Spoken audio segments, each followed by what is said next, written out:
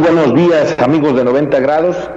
Lo que estamos a punto de vivir para el año 2021, unas elecciones históricas, unas elecciones en donde contará mucho qué tan transparentes son los candidatos y esto eh, tendremos que entrar a un análisis profundo de su historial. La realidad es que al día de hoy se prevén unas elecciones en donde saldrán chispas del gran choque que habrá.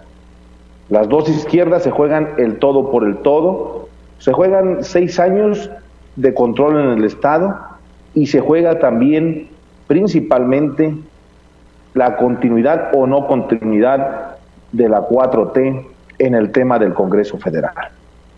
La realidad es que debemos de ser muy capaces, muy estudiosos de por quién votamos en esta elección, de a quién le damos el voto de confianza y al emitirlo pensando en dos grandes caminos, la transparencia y la rendición de cuentas. Nos toca a nosotros como ciudadanos realmente tomar nuestro papel al momento de emitir un voto y no solamente hacerlo por acarreo, porque se nos da una dádiva para ir a votar o por coraje. No es así. Debemos de tomarlo con mucha seriedad y emitir un voto razonado, un voto congruente y un voto que nos logre dar condiciones todavía más favorables de las que se nos ha dado históricamente en el país. La situación en nuestro estado se vuelve cada vez más compleja.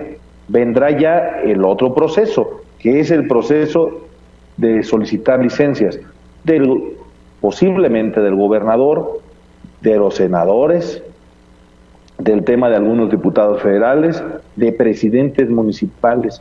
Y no se nos olvide que es el lado más sensible. Las presidencias municipales son el contacto o el primer contacto directo con la sociedad. Estas transiciones se deben de dar pacíficamente, pero también deben de darse en total apego a la ley de transparencia para que se hagan entregas-recepciones muy precisas y sobre todo muy en la temática de no permitir el uso de recurso público durante las precampañas o campañas venideras.